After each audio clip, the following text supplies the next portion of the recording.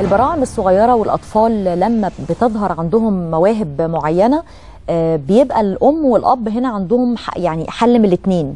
يا إما الالتفات ليها وياخدوا بالهم من الموهبة دي ويبدأوا ينموها خصوصا لو حاجة آه، ليها مستقبل يعني موهبة علمية أو حاجة فنية مثلا آه، ليها مستقبل. يا إما فكرة خليك يا ابني في دروسك ومفيش وقت للكلام ده وهتعمل إيه يعني بالموهبة دي أو مش في دماغه أصلا وما إلى ذلك.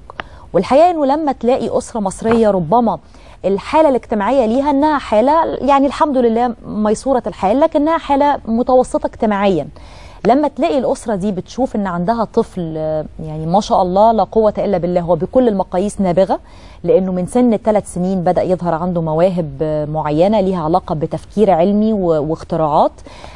لما منذ سنوات يحصل على سفير اليونسكو للطفولة العربية آه، لما يتكلم على اختراعات آه، لأجهزة روبوت وجهاز يساعد ذوي الإعاقة آه، وهم ماشيين لأنه كان مرة ماشي في الشارع مع والدته فلقى حد عنده إعاقة مش عارف يطلع الرصيف حاجة كده فيقوم يرجع البيت يفكر إنه يركب جهاز ويعمل حاجة وحاجات تانية كتير. لما كل ده بقى وهو النهاردة عنده 8 سنين يبقى إحنا قدام طفل عايزين نعرف الموهبة دي يعني بدأت عنده من إمتى ونتكلم معاه عشان نشجع كمان كل أم وأب شايفين في أطفالهم بذور لمواهب واختراعات ممكن بإذن الله تفيد هذا الوطن.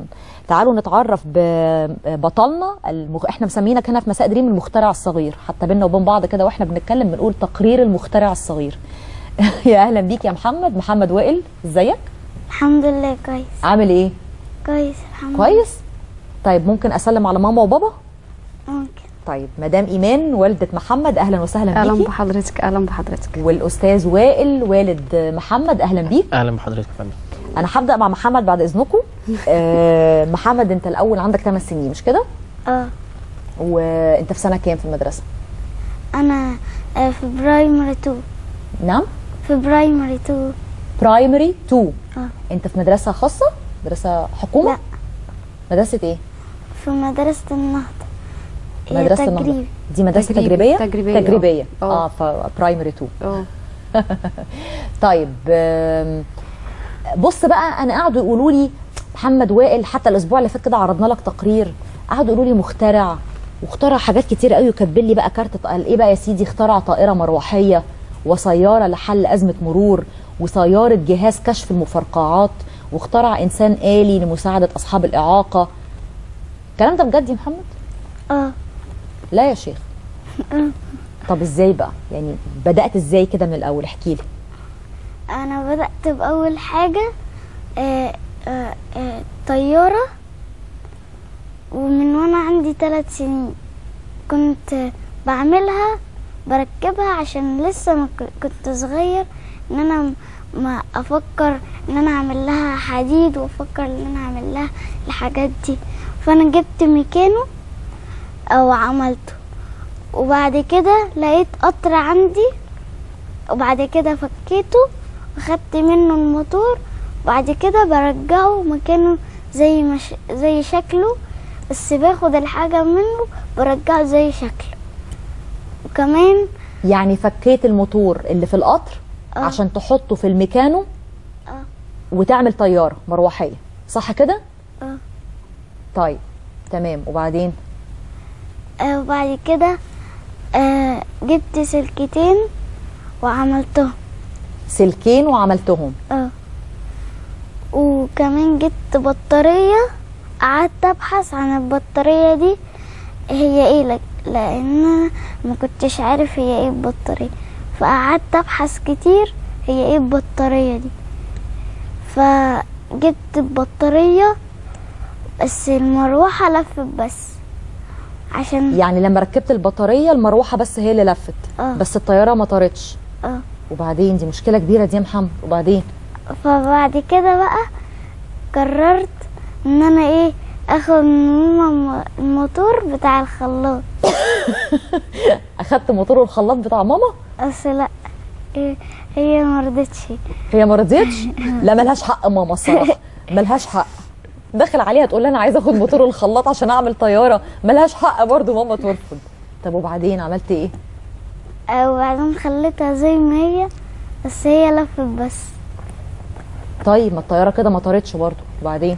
أيوه ما أنا بقى لسه بدور على حاجة على مواتير إن هي في ح- في الحاجات اللي عندي في البيت بدور على مواتير إن هي ما تديله يا ماما موتور الخلاط يا ماما. في إيه بس؟ اديله موتور الخلاط عشان الطيارة تطير والنبي. طيب إيه تاني غير الطيارة؟ بس دي دي الطريقة اللي أنت فكرت بيها إنك تعمل طيارة. آه. من الميكانو وبعدها فكيت موتور ال- القطر وركبت المروحة ف... وعملت وصلت سلكين المروحة بس هي اللي لفت. وأنت واقف دلوقتي على الموتور. اللي هنقنع ماما إن شاء الله في آخر الحلقة النهارده إن إحنا ناخده من الخلاط ما تقلقش. طيب عملت إيه تاني؟ وبعد كده عملت عربية بتحل أزمة المرور. إزاي بقى؟ كنت ماشي مع ماما وبابا في الشارع لقيت زحمة فقالت لي إن هي دي آه، آه، أزمة المرور. فأنا بقى بعد كده روحت البيت فكرت إن أنا أعمل عربية بتحل الأزمة دي. هي دي العربية يا محمد لو شايفها من عند هي دي؟ بص آه. هي دي؟ طب إيه يعني إيه بقى العربية دي؟ إزاي تحل أزمة المرور؟ مش فاهمة. آه إن السواق هيبقى جنبه زرار. آه. آه لما يلاقي زحمة الزرار ده يدوس عليه العربية آه ترتفع لفوق. والع... وعربية تدخل من تحتيها العربية اللي أنا عاملها يعني هتبقى زي كوبري كده. يعني نفق بيدخل منه العربيات وهي عربية أكنها نفق وبيدخل منها. يعني العربية هي ماشية كده على الأرض. آه. أنت عايز يبقى في زرار جنب السواق. لما يلاقي زحمة قوي يدوس على الزرار ده فالعربية تعلى لفوق. صح كده؟ فيعدي. طب يا محمد ده الناس وهي على الأرض عمالة بتطقش في بعض. فإحنا لما نطلع فوق كمان يا محمد هتبقى مشكلة. إحنا سواقتنا وحشة قوي يا محمد. إحنا عندنا مشكلة سواقة أصلا يا محمد قبل مشكلة الزحمة. هنعمل إيه بقى في المشكلة دي؟ نتعلم السواقة. نتعلم السواقة. طيب أنت مرة كنت مع ماما وشفت حد ماشي في الشارع ورجليه تعباه أو عنده إعاقة صح؟ آه. عملت إيه؟ بعد كده آه، فكرت إن أنا أعمل روبوت يساعده. إزاي؟ كان اتبقى عندي ميكانو اللي أنا كنت عامل بيه الطيارة اتبقى فأنا فأنا فكرت إن أنا أعمل بيه آه الإنسان الآلي ده فبعد كده جبت العربية اللي هي بتمشي بالريموت آه ففكيت ال. البلاستيك اللي فوق. وعملت لها زي سفنجة كده وحطيت الروبوت عليها. آه وجبت حاجات عشان تسنده من ورا. امم آه وجبت تسند الروبوت نفسه من ورا؟ آه. ليه؟ عشان ما يقعش؟ أي. تمام. آه وكمان آه جبت موبايل كان عندي. آه بس بايظ. وجبت آه تابلت بايظ. حطيته هيبقى التابلت ده في إيدي. والموبايل ده هيبقى معاه الموبايل هيبقى هيبقى واخد من التاب يعني إحنا الاتنين هي- هنبقى بنكلم بعض. امم يعني أنا مثلا يعني هو لما يعني تدي الأوردر للروبوت آه. عن طريق التابلت. أي. تقول له روح مثلا هات الدواء. أي. تعالى آه، اسندني وأنا ماشي. صح كده؟ تدي له الأمر. آه تمام. وبعدين؟ أو يعني مثلا هم هم مش عارفين يفتحوا الباب. هو مهم. يروح يفتح لهم الباب. أو يعمل لهم يجيب لهم مية يعمل لهم الحاجات دي. أها آه وكمان عملت مركبة ضد الغرق بس أنا لسه ما عملتش ال- المكان وما كملتهاش. لسه ما كملتهاش. آه.